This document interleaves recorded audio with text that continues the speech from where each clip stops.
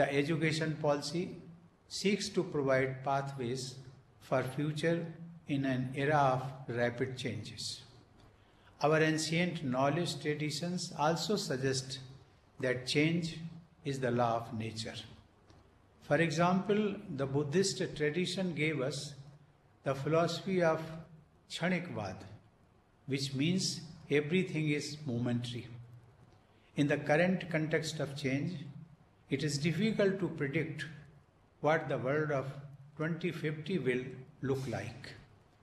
It is equally difficult to predict the skill sets that will be needed after a few decades. How to learn is more important than what to learn because the contents of learning keep changing.